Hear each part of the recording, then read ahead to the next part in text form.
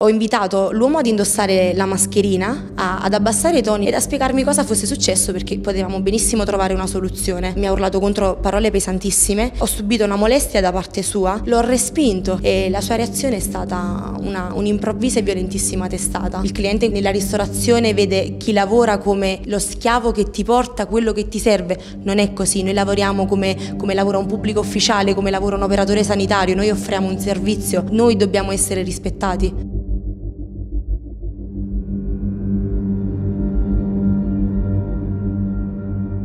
Venerdì sera, mentre ero in cucina, eh, io sono una cuoca eh, del ristorante O Greco di via San Sebastiano, eh, lavoro al centro di Napoli, mm, mentre ero in pieno ritmo lavorativo ho sentito delle urla disumane provenire dal, dall'ingresso del ristorante dove mia zia lavora alla cassa al bancone e mm, mi sono diretta all'esterno per capire cosa, cosa stesse accadendo. La scena che mi sono trovata di fronte è stata, è stata violentissima. Ho trovato quest'uomo che urlava contro mia zia mm, delle parole orrende e nel momento in cui è stato richiamato all'ordine ordine da quest'ultima ed invitato ad uscire all'esterno, ha cercato di aggredirla ed io mi sono messa tra i due per evitare che, che il peggio ecco, accadesse, accadesse, a lei. Ho invitato l'uomo ad indossare la mascherina, a, ad abbassare i toni nei confronti di due donne ed a spiegarmi cosa fosse successo perché potevamo benissimo trovare una soluzione.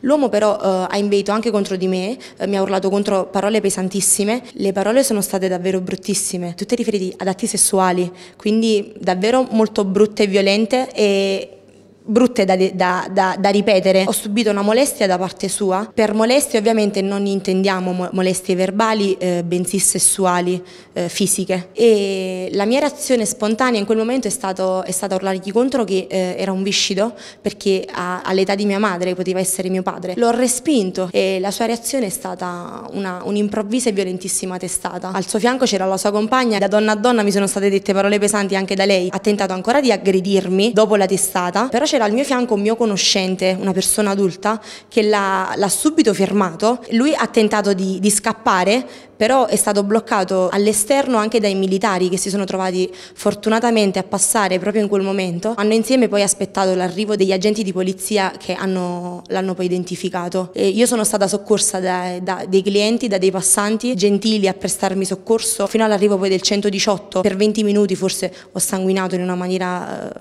pazzesca, davvero incredibile. Sono stata sottoposta ad una, ad una TAC, TAC e radiografia. La diagnosi è un trauma, un trauma cranico e una, una frattura della, della, piramide nasale. Se al mio posto ci fosse stata mia zia, mm, forse non ne staremmo qui a parlare così.